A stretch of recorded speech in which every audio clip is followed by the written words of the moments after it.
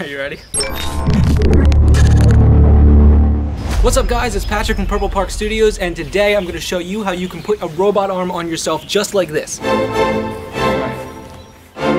So you might say, well I don't have a green screen. Well that's not a problem because what I've done is I've gone ahead, filmed the footage and keyed it out for you and put it for free, a link in the description along with a robot arm model so that there's no excuse why you can't smash that subscribe button and follow along with this video.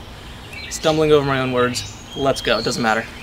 Can't believe that I'm finally filming this video. People have been asking for this for about or a little over a year now and I did not want to put myself through the pain of doing this. I had to record this tutorial four times until I finally got it right, but I did and I think I've come up with a super easy way to do this. So let's stop talking about it and get into the tutorial.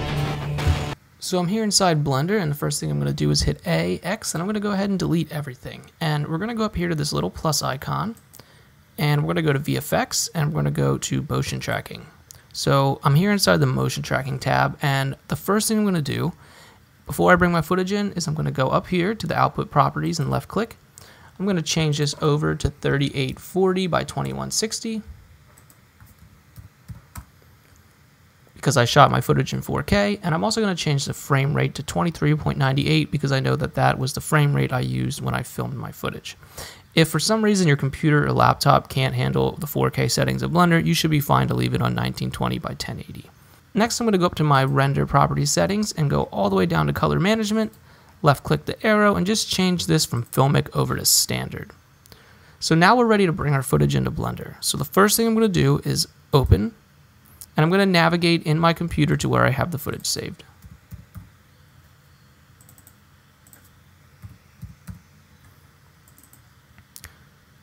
So I'm going to go ahead and select my footage and I'm going to bring this into Blender. And you can see that we have our footage in here, but before we start tracking, I'm just going to hit set scene frames. So right now you'll notice uh, that it's 1 to 250, which is the default in Blender. So I'm going to hit set scene frames and this clip is only 166 frames, so it will automatically set the timeline to 166 frames. And next I'm going to hit prefetch, and what prefetch will do is it will load the footage into Blender's memory, so that playback is very smooth. So I'll go ahead and hit prefetch. So now that the footage is loaded into the memory, I'm going to hit play and watch it through. You can see everything's moving very smooth there. And now's a good time to probably save your project. So now that we've saved our project, we're about ready to start tracking. The first thing we're going to do is just check normalize, and this will normalize light intensities while tracking, so that way we get a little bit more accurate of a track.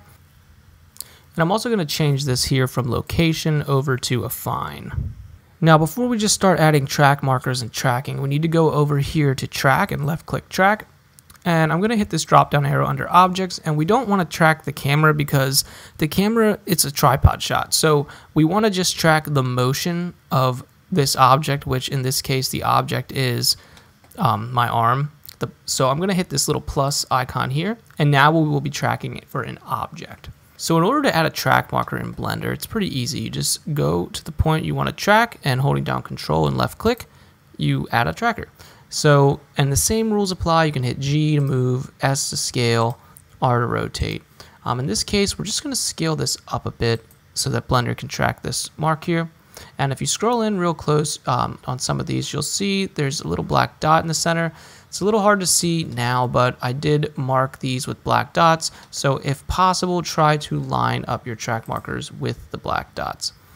And in Blender, you can track frame by frame by hitting this one to track forward and this one to track backwards. So I could just track it frame by frame like this. Or uh, there's these arrows down here. This one will track your whole clip forward and this one will track the whole clip backwards. So I'm just going to go ahead and scroll out and track the whole clip forward. And you can see it froze up a bit there. The bigger you scale your track marker, the slower it can take, but it will usually tend to be a bit more accurate. So we can see there that that track marker stuck on the whole way through. So I'll go ahead and hit left click this lock to lock that. So now I can't scale it or grab it or move it, which is what we want.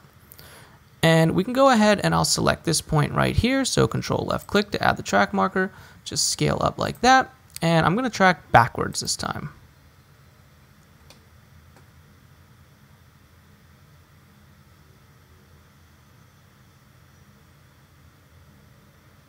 Can see it's holding on pretty well there. So I'll go ahead and lock that track marker as well. And when tracking a camera in Blender, you need at least eight good tracking points. Uh, when tracking an object, you don't need as many. But we're going to go ahead and track as many as we can because the more information Blender has, the better it will do. So I'm going to left click that point and scale this up. And we'll go ahead and track this point forward. Don't be afraid to scale your track markers up a bit. You can see, I think it just fell off there. Yeah, it just fell off. So I'm going to go ahead and just delete this marker. And I'm just going to start over from the beginning because I want to see what happened there. So control left click, scale up, make this one even bigger. And we'll go ahead and track forward. It looked like it jumped to the other one before. Let's see if it does it again. I guess it's not doing it this time. Oh, there it did it again. So that's at frame 70, it looked like. So I'm going to go ahead and stop the track. I'm going to go back to frame 70. Or it looks like 69 is where it jumped. So frame 65 will go to. And what I'm going to do is I'm just going to track forward frame by frame here. So it's jumping there, so that's not right. So I'm going to hit G to move this back to right about where it was. And I'm going to go ahead and track forward by a frame. And now let's see if we can just track this the rest of the way forward without it jumping. It's really strange why that did that. But if it happens, sometimes you'll have to ma manually move the track back. You can see it did it again there at frame 158. So I'm going to go back to frame 157. So 158 is where it jumps. So let's go to 157 just going to hit G to give it a new point and then track forward one frame and we're going frame by frame. So it looks like it just got confused there.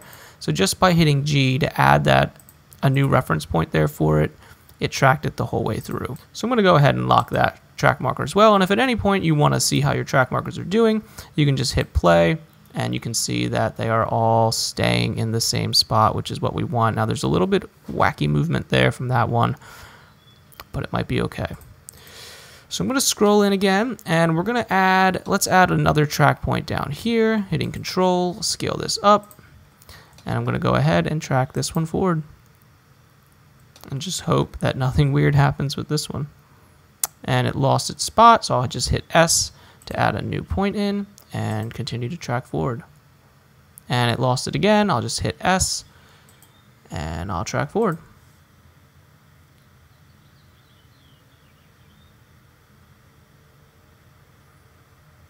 So that one looks like it made it through, so I'll go ahead and lock that. And let's try and track this point down here. So I'll hit control left click and just scale this up nice and big. And let's go ahead and track backwards. And this part can be a bit tedious, but the results do look really awesome when they're done. So it's definitely worth it. And this one, well, spoke too soon. So I'll hit S just to reset that point there and go ahead and track this one backwards. And it did that thing again where it jumped. I'm not sure what frame that was, so we'll just have to go back. Scroll back here. So it looks like frame 54. So I'm just going to hit S to add a new point of reference in there. And just, I'm going to go frame by frame, track backwards. Okay, should be good. So I'll just track the rest of the way back. And it lost it there. I'll just hit S to add in a new point of reference, track backwards. Dum dum dum. Um, all right, so it made it. So I'll go ahead and lock that, and I'm just gonna hit play. Just want to see how these did. So that's not looking too bad. I think it's uh, we might just roll with these five here for an object track. So I'm gonna hit A to select them all. Go down to solve, and I'm gonna hit. I'm gonna try tripod since we filmed this on a tripod, and, and then I'm gonna hit solve object motion. And you can see the solve error up here is 7.83, which is pretty bad technically. Um, it, technically, you want it to be 1 or below in Blender to, for a good uh, solve. But watching these back, I don't see anything too crazy. None of them are jumping way too out of whack, minus maybe this one up top here. So I think that this actually I'm gonna try and roll with this and let's see what we get. And normally if your track markers, like you, I can see here that these are sticking onto my arm pretty well. They're not like jumping. Sometimes you'll get a track marker like we saw earlier, that one that was jumping all around. If that's happening, then you're going to have problems. But this just might work. So we can go scroll down here and I'm going to hit setup tracking scene. And if we go out into our layout, we can see here we have a camera and a light and all of this stuff. So if I look through my camera and hit play, you'll see that it looks like this. And what we want to do is we want to orient this right so that it's not just facing in like a random direction. So I'm going to select my camera and hit N and and I'm just going to zero out the location so that the camera snaps to the middle. And I'm also going to just real quick select these three items and just delete them because we don't need them. We just really need this camera. So selecting the camera again, I'm going to make the rotation 90 on the X and I'm going to zero it out on the Y and the Z just so that our camera is facing something a bit more familiar. And then selecting the camera, I'm just going to hit G and Y and move it back like this. And now we can look through our camera. And if I hit play, we can see our footage. So I'm going to go to frame one and I'm going to go back up to my motion tracking tab. And I'm going to hit A to select all of these points. And then if I scroll up, I'm going to hit link empty to track. And now if I go back into my layout, you can see I have a bunch of empties here. So I'm going to go ahead and select these empties and just scale them down so that they're a bit more uh, same size. Looks like I missed one there. Scale these down like that, just so I can see them a bit better. And I, damn it, I missed this one again. So I'll scale that down. So now all these empties are more of a normal size, and if I hit play, you can see that they are sticking right onto the arm, and we can see we have some movement that resembles something like real life. And I can also go out of my camera mode, and if I hit play, you can see these empties are moving. Now this one here might be problematic. Uh, remember when we were tracking that, I think that was the problematic one, but we'll find out shortly. So now's a great time to save your project again. And we can also go ahead and select these foreground and background folders and just delete them because we don't really need them. So now it's time to add in our robot arm, which I've provided the keyed out footage and the robot arm. And you can get those for free if you just go into the description and follow that link and you can download them and use them in the project. So I'm going to go ahead and hit File, Import, FBX, and I'm going to grab my robot arm and just hit Import FBX. And the robot arm is here, so I'm going to just scale it up to something a bit more natural and just move it into place roughly.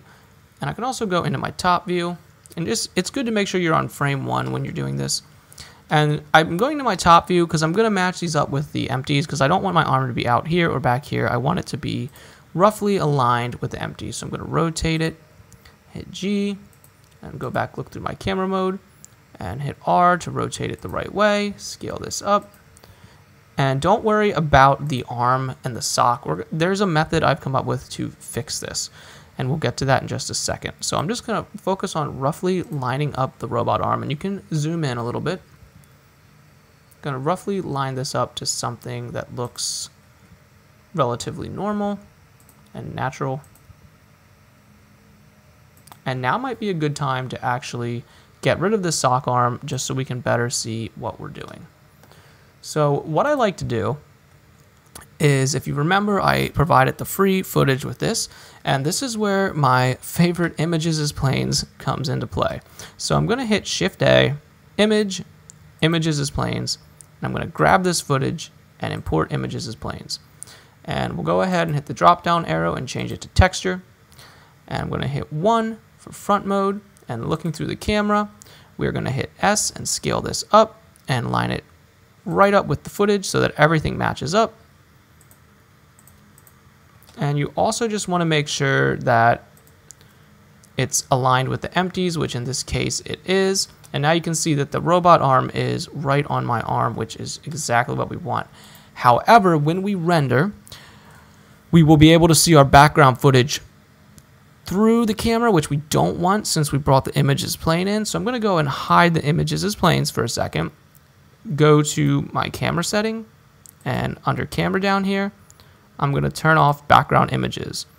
So now we can go ahead and turn back on our images as planes and make sure you enable it and render again.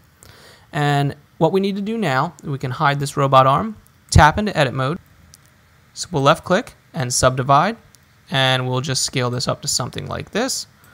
And now we can hit, and now we can just face, and now we can select these vertices right here that we don't need, hit X and delete them. And you can see it deleted a bit too much, so we might want to use face select mode. So three for face select mode, select the faces you don't need. In this situation, I'm actually going to hit Control R and add another loop cut here. And I'm going to go ahead and just delete these faces that I don't need.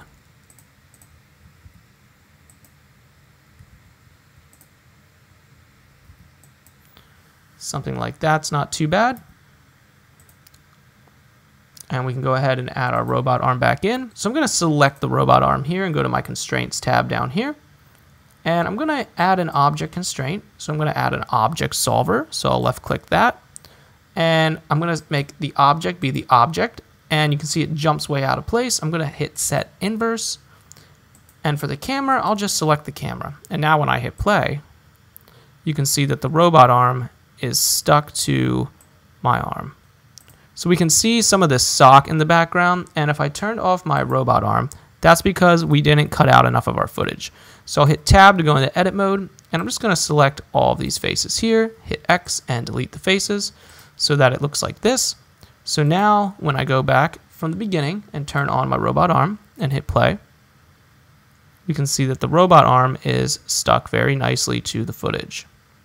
So guys, if you found this video helpful, don't forget to subscribe to the channel for more amazing content and videos just like this.